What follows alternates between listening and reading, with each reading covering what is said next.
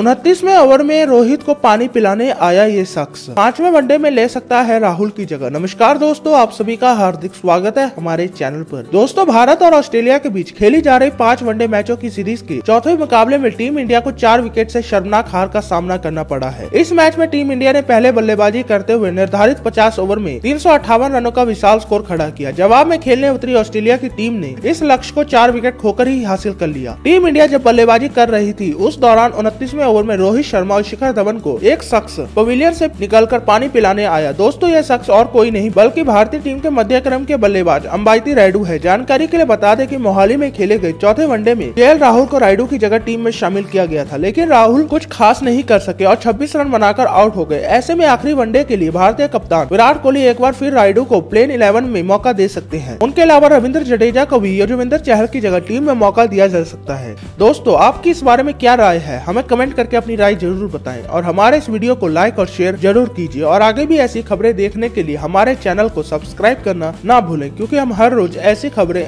आपके लिए लाते रहते हैं धन्यवाद